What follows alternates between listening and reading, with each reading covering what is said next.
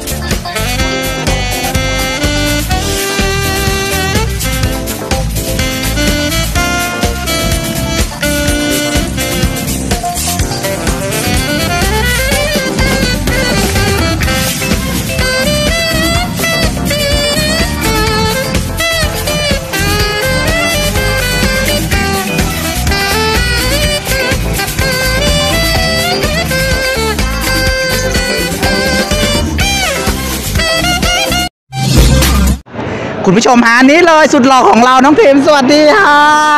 อ่าแมนฮอสตานะฮะเขารอบลึกๆแล้วเป็นยังไงบ้าง ก็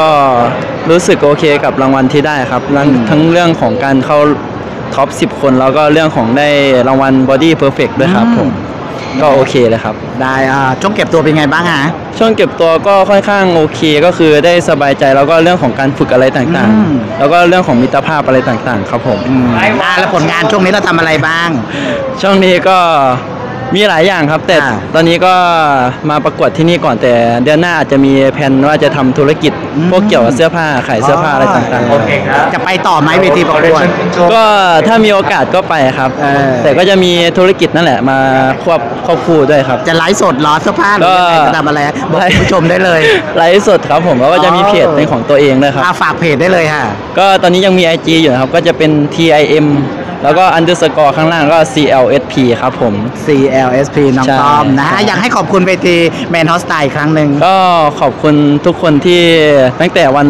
เริ่มแล้วก็พี่ๆทีมงานทุกคนนะครับ ที่ทำให้ผมได้มีผลงานดีๆออกมา อืม แล้วก็เรื่องของรางวัลต่างๆ ครับ ได้เลย ขอบคุณน้องทิมมากค่ะ ครับพี่ ขอบคุณครับบ๊ายบาย บ๊ายบาย